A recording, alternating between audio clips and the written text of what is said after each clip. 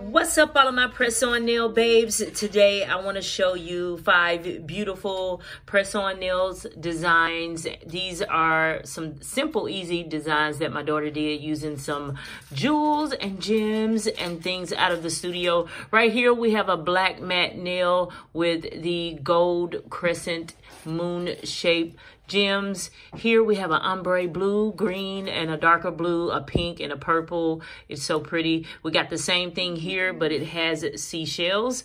I like this one that she did right here. She's only 14 years old, like literally just turned 14 this week. I like the, the, offset square pattern of that with the jewels. It looks good. And then she did this two-tone purple, uh, like the French tip at the top and at the bottom with the clear middle. I am really looking forward to wearing these. I'm going to show y'all some more of those that she did on another video. But these are five beautiful designs that you could do yourself with your own home press-on nail studio and a little supplies. It's your girl, Brenetta Madison. Y'all make some nails today.